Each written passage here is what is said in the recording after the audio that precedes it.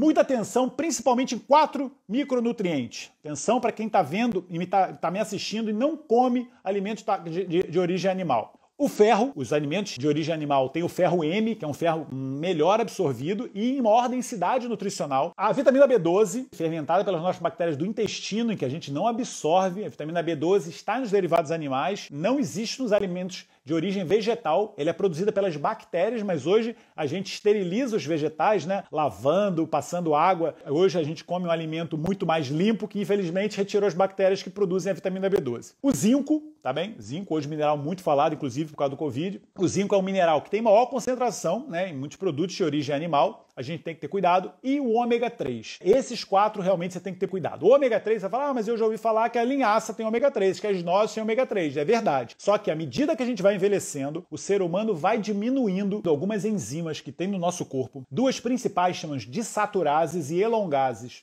que são enzimas que elas retiram duplas ligações da gordura e alongam a molécula. Elas colocam carbono, como se fossem carboxilases, e desaturam elas. O que acontece? A molécula do ômega 3 que do reino vegetal, chamado ácido alfa-linolênico, ele vai aumentando a cadeia de carbonos, passa para 20, que é o EPA, ácido eicosapentanoico, com cinco duplas ligações, depois passa para o DHA, que é o ácido doxohexanoico, docosa 22, hexa de 6. Então é um ácido graxo de 22 carbonos e 6 duplas ligações. Esses são os ácidos graxos, né, o EPA e o DHA, que são fundamentais por mecanismos anti-inflamatórios, para proteção cerebral. Mas esses ácidos graxos de cadeia mais longa, eles têm que ser convertidos no nosso corpo, a partir né, da linhaça, a partir das nozes, a partir da, da, das fontes vegetais de ômega 3. Quando a gente come o animal que tem ômega 3, como o peixe, por exemplo, né, o peixe gordo, o peixe fez isso pra gente. Então a gente já come